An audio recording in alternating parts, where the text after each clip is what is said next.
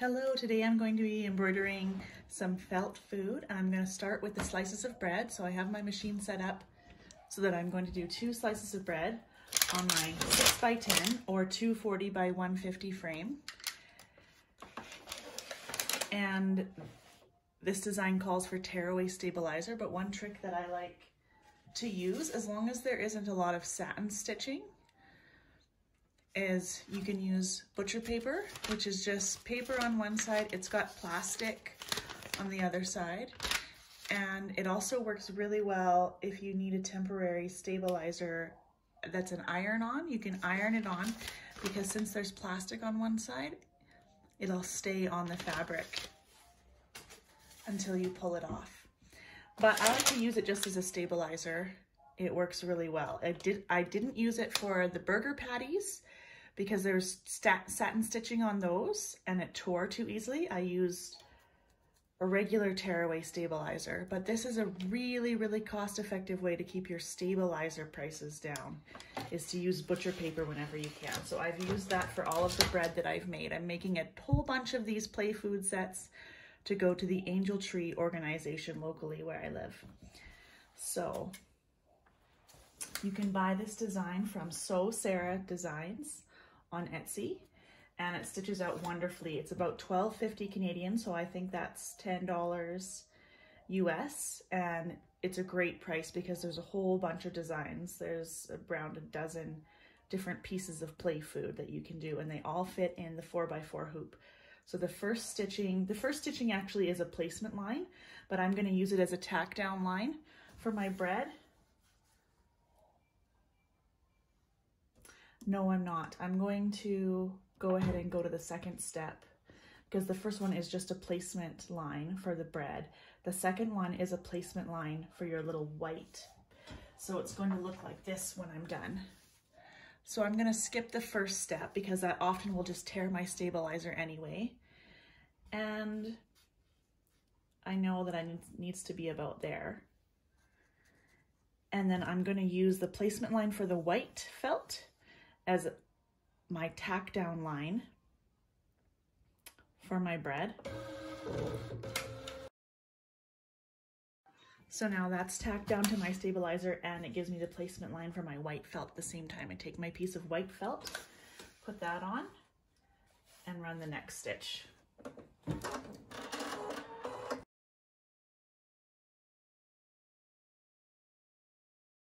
Okay, so that step is done now. Because I only want to have to take my machine, my hoop off of the machine once, I'm going to go ahead and go to the second step of the other piece of bread and do the same steps again.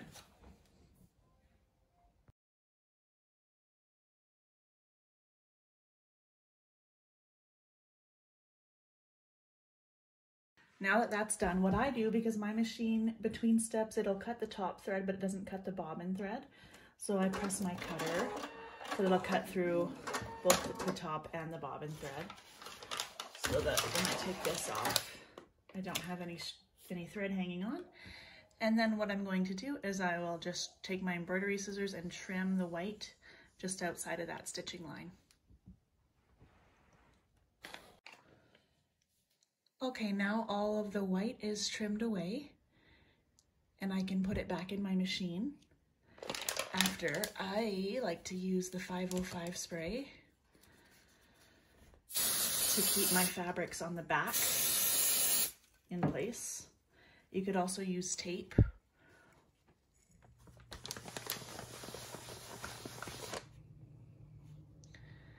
And then I'll place those And then I can do the final stitch outlines, which will put together the two halves.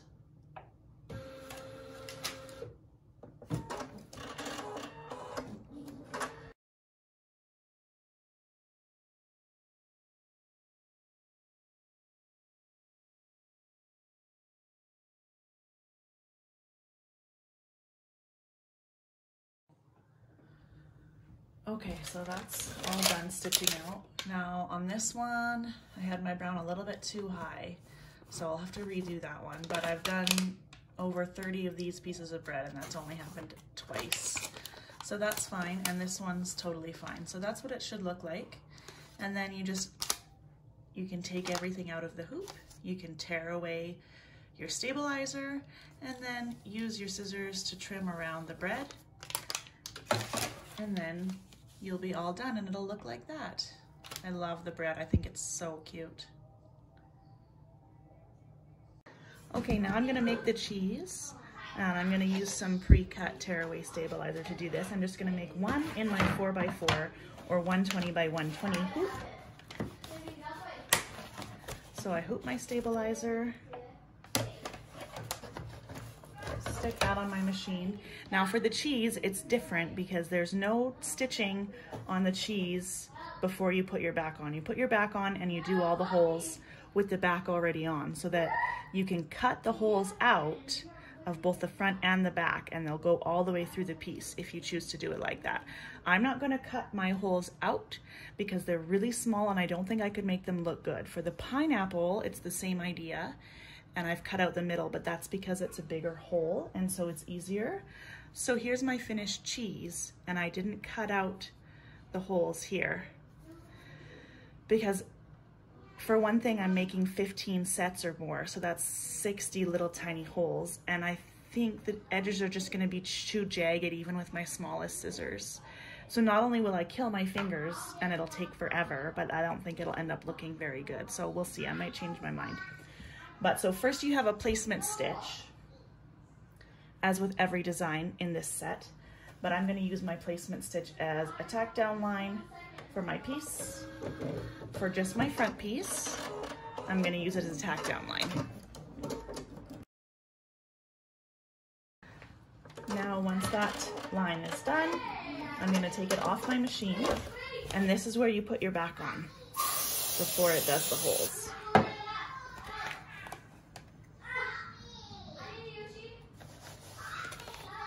Put it back on the machine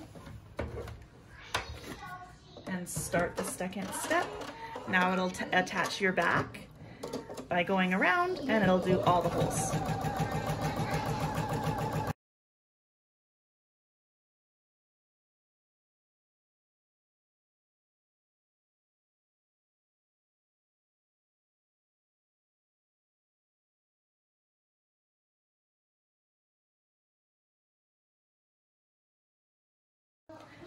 And then that stuff is all done and your embroidery is finished. So then you wanna clean up these extra strings, clean up the back if you have jump stitches on the front or the back.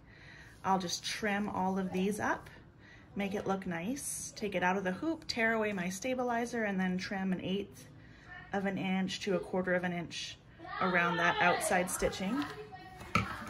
And then my finished product looks like this. So there is the cheese. You could put matching bobbin thread in to make it look a little bit more professional. I just didn't bother.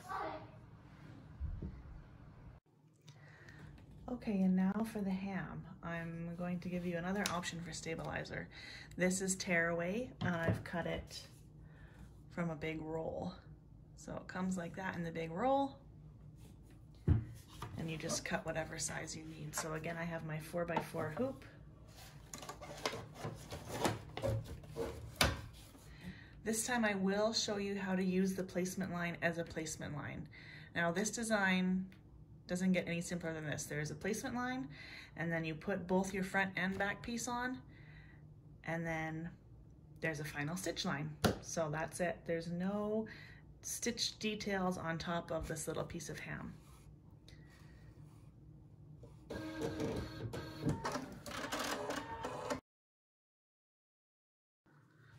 So then once again, I'll cut my threads, take that off.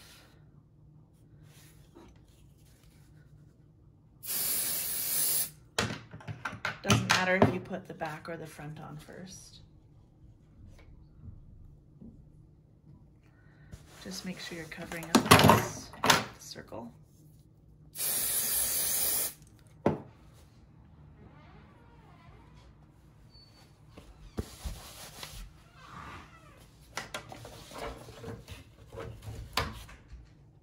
then the final stitch out.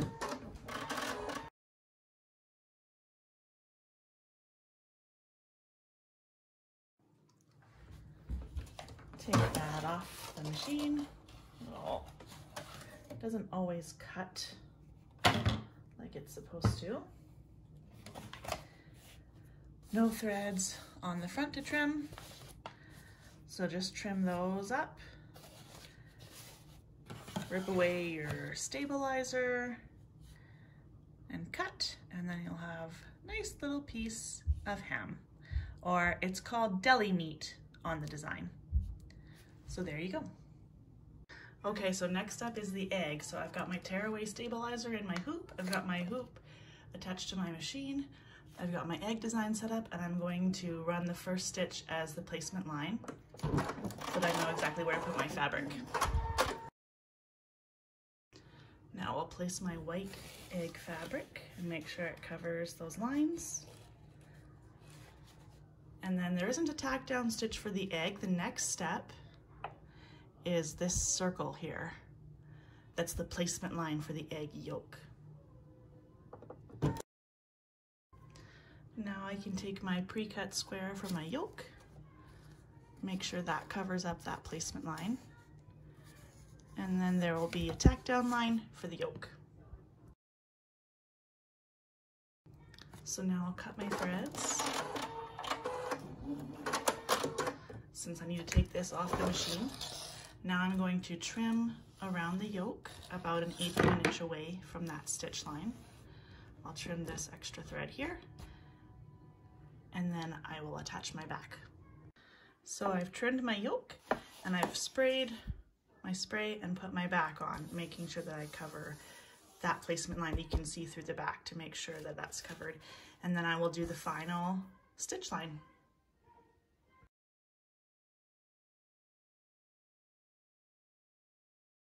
And that's it for the egg. The egg is already done. So now you just trim off the extra threads Take it out of the hoop, tear away the stabilizer, trim it around the final stitch out, and you've got your egg. Okay, so next up is the mushroom. So I'm going to do four mushrooms at once because four can fit in my four by four hoop. So I've got my design loaded and my hoop on. And what I'm going to do for this one is I found that I want to use the placement line as a tack down line for my felt so that before I do this little fill, sort of a satin stitch part of the mushrooms, I want to have that tack down line in place because sometimes it shifts and rips the stabilizer without that tack down line. So that's how I'm going to do it. It's just personal preference and what works for you and for your machine, how you want to do that. So let's go. So there's that, that placement line that I'm using as a tack down line. And then I'm going to do that first step and the second step, that little infill detailing on the mushroom for all four. So I'll show you what that looks like. So I'm going to do steps one and two for each of the four mushrooms, and then I'll flip it over and put the back on.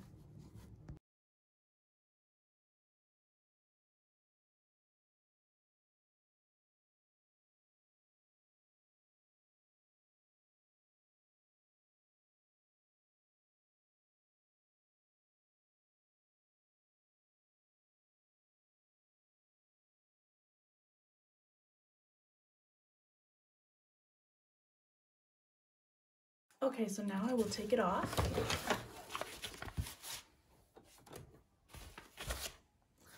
Do my spray. I'm not worried right now about the threads on the back being messy. That doesn't need to be taken care of right now. And then I will do machine step number three for each of these. So I'll go to one, three, and then two, three, three, three, and four, three. I've just got to make sure I don't get confused and tell my machine to do the wrong step.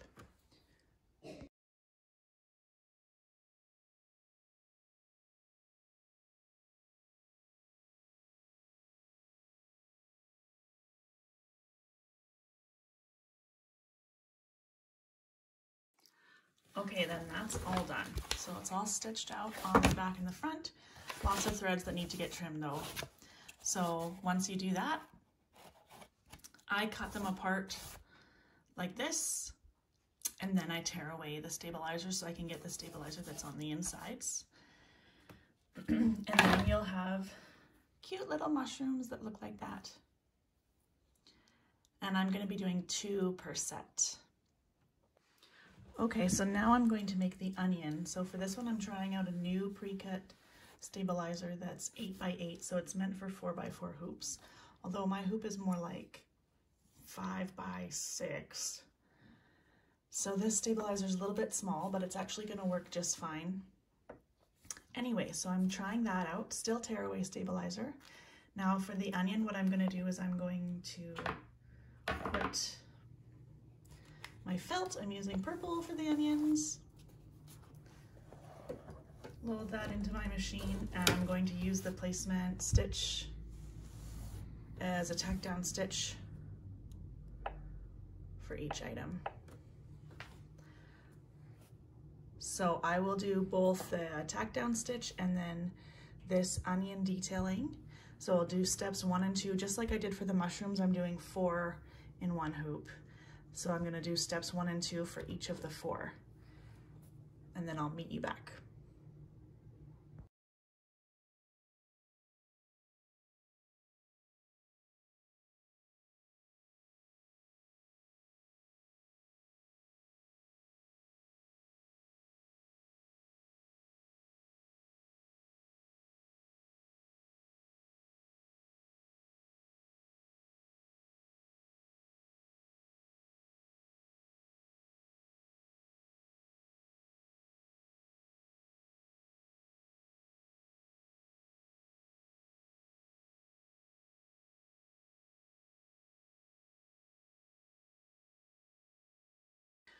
Whew, okay, so those ones have a ton of stitching with all the little detail in there. If you don't want to spend huge amounts of time making these, or if your machine doesn't cut the jump stitches on top, stitches on top, you're going to have a whole bunch of little jump stitches in between each ring and you could leave them, that's one option. Or if you have a really good pair of little scissors, you could get in there and cut each one. If you don't mind doing that, that's an option. Another option that I have for you is to suggest that you do the beetroot file in place of onion or just skip the onion since this is so similar anyway. I did this in purple initially thinking the first time I went through this that it was the onion and I don't think I've ever put beetroot on my sandwich. I don't know if that's just the same as beets, so maybe this should be more of a purple red color, but this has a lot less stitching and it's still really, really cute. And it's a similar size it's just a little bit more of an oblong shape. So you that's another option instead of the onion because the onion is so time consuming and you're gonna have tons of jump stitches to cut if your machine doesn't cut them for you. So now my back,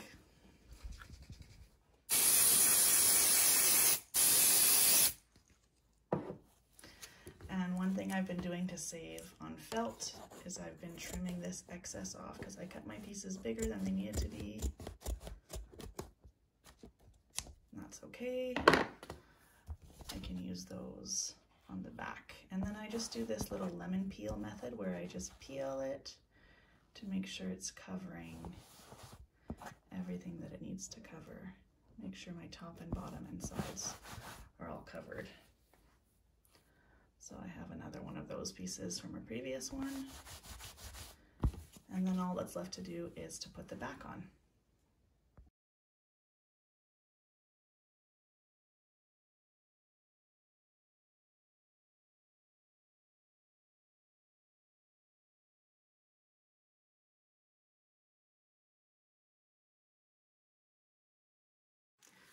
So there's my four onion slices. And then I like to trim all these extra threads, this mess of threads back here while it's still in the hoop because then the hoop is holding it nice and still for me. Take out your stabilizer and cut your onions apart. And then you've got some cute little onions for your sandwich. They're a lot smaller than I thought they would be, so I'm probably going to do two for each set is they're about the same size as the mushrooms. There it is. Okay, and now we're gonna make the pineapple. So I've got my stabilizer in my hoop, and I'm gonna run the first step, placement stitch, and I'm going to do it as a placement stitch. And then I'll place my piece of felt that I've cut and start the next step.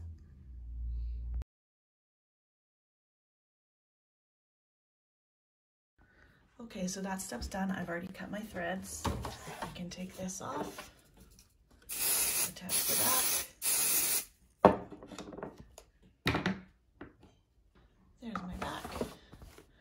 Put that back on the machine.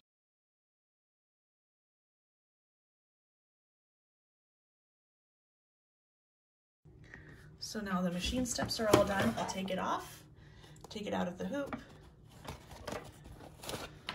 trim those extra threads on the back, then tear away the stabilizer, cut it out, and cut out that middle section too, so that you're left with that. So there's the pineapple.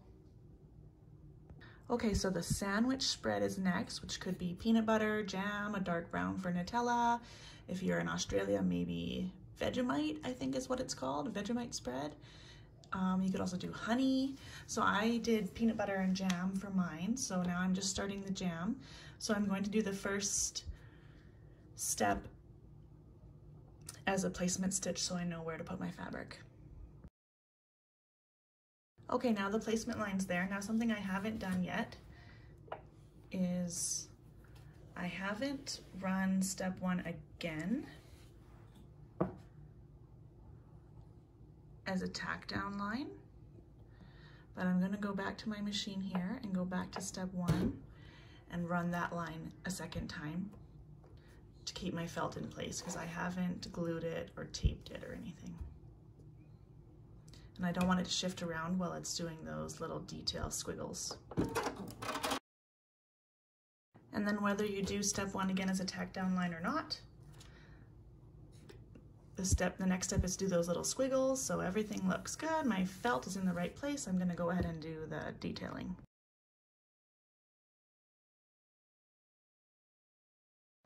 So once that's done, I've cut my threads already. Take it off the machine. Do the spray. Place your back. Make sure that's covering everything it needs to cover and do your final stitch.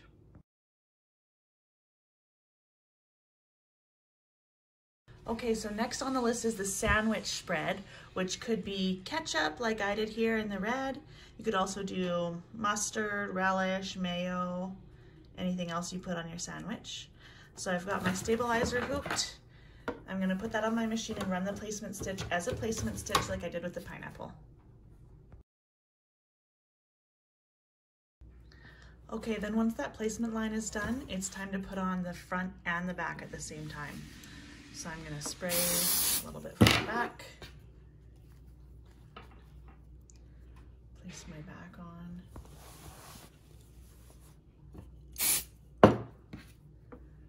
Place my front on, make sure that those are covering your placement stitch. And then back on the machine, and then step two, and that's, and then it'll be done.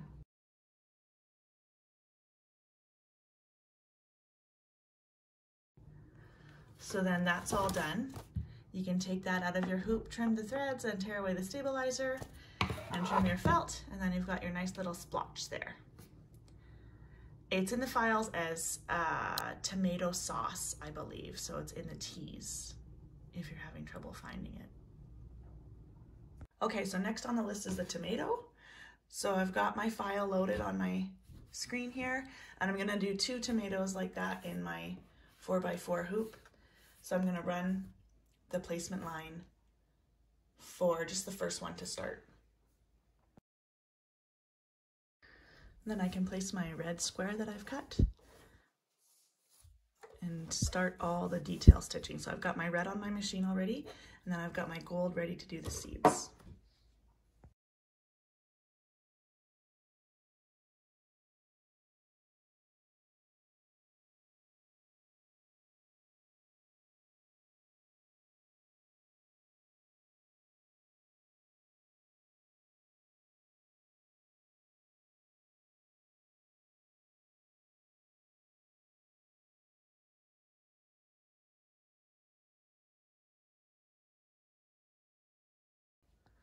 Okay, now it's time for our color change.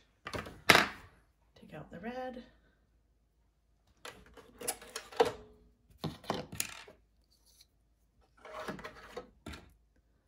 Put on this gold color.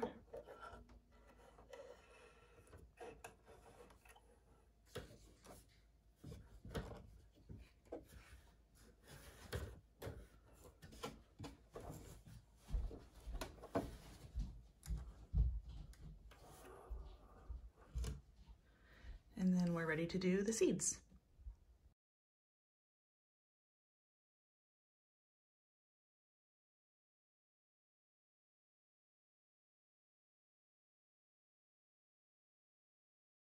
Okay, so then you'll want to switch back to red again. And if you don't, your tomato will end up looking like this. This one that I made a mistake on. And I even tried to go around that outer stitching with the red to fix it, but it just started making more of a mess. So that one's just gonna stay like that. But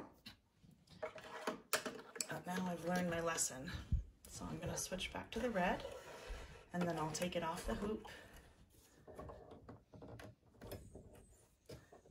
And I will spray my back with my sticky spray, put my back on.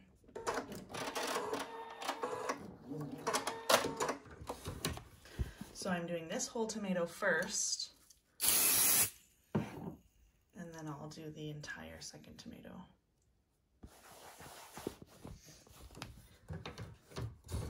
So now the final stitch line for that one. Okay, so what I'm gonna do to start my second one is I've sipped my thread so I can take this off the hoop, and then I'm just gonna trim that corner so that doesn't get in the way of my second one. I'll do that on the back as well.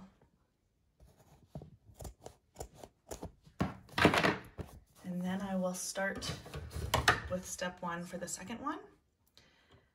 And it's just the same process again.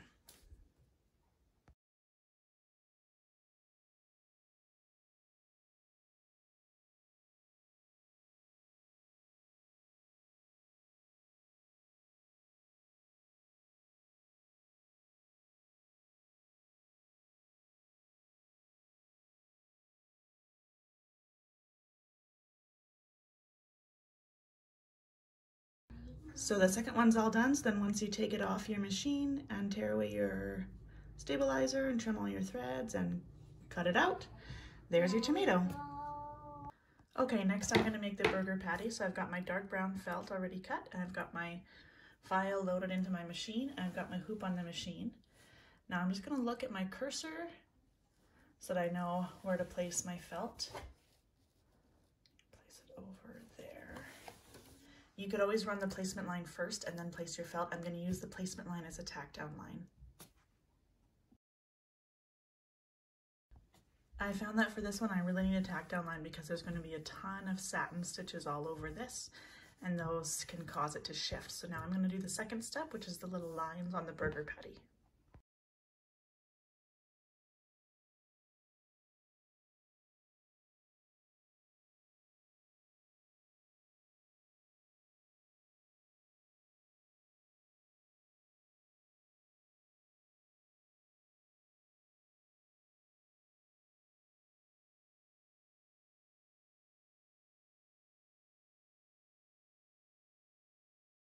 Okay, so I've cut my thread so I can take this off the machine. I'll put my spray on the back and then attach my back piece. Put it back on the machine and run the final stitch outline.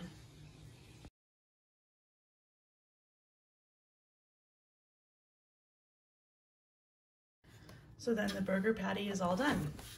Take that off your machine and trim your threads, take it out of the hoop, tear away your stabilizer and trim your felt, and you'll have a nice little burger patty.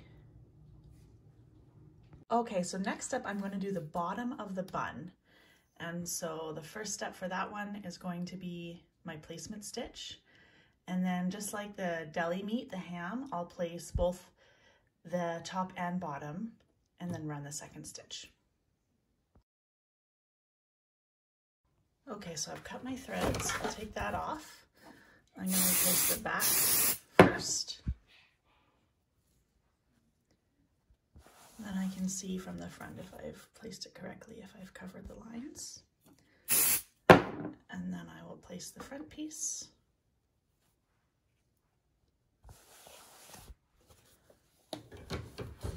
And then the second stitch, we'll finish it off.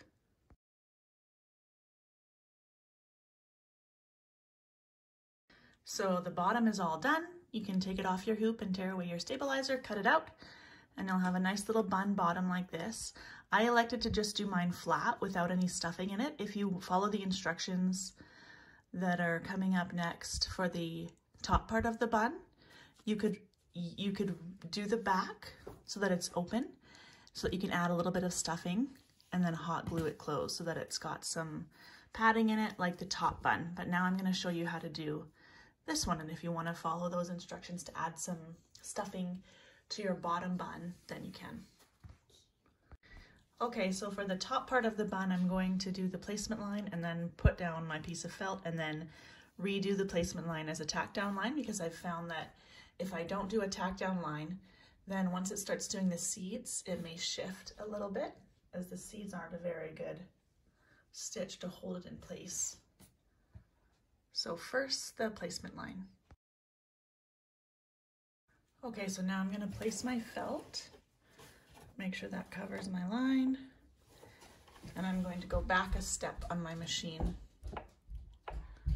and redo that first step.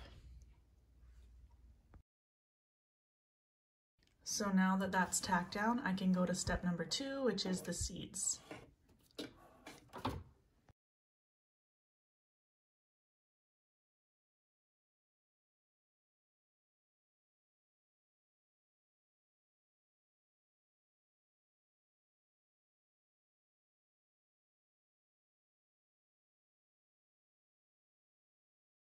Okay, so now that the seeds are all stitched out, I'm gonna cut my threads. And then for the back, I've got all my pieces for the bun cut about six by four inches. And what I'm gonna do is I'm gonna cut one of those in half. And now when I put it on the back,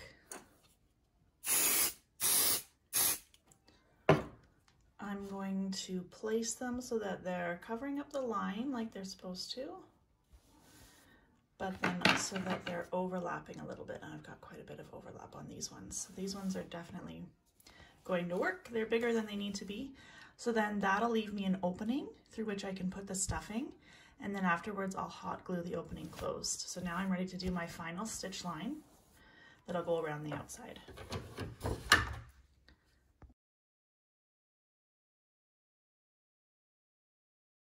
So once that's all stitched out, you can take it off your hoop, tear away the stabilizer, and trim your felt. And then turn your bun over. And then through that opening, you can add a little bit of stuffing. Just do tiny, tiny, tiny bits at a time so you can get it even and so that it'll spread throughout the bun. And then you can hot glue it closed or you could use liquid stitch or you could hand sew it if you prefer. I just did hot glue and I'm happy with it. And then you've got the top part of your bun. So that's all the pieces in our food set. And that'll make you a great, great little play set that you can give to kids, grandkids, neighbor kids. Keep at your house if you have occasionally kids visiting. Um, you can give it to charity organizations such as Angel Tree who are who accept um, brand new items that are handmade. And your felt food can be enjoyed for many years to come. Thank you so much for watching. Please don't forget to like and subscribe and keep an eye out for new machine embroidery videos and check out my other videos if you happen to crochet or if you've tried your hand at quilting. Thanks, bye.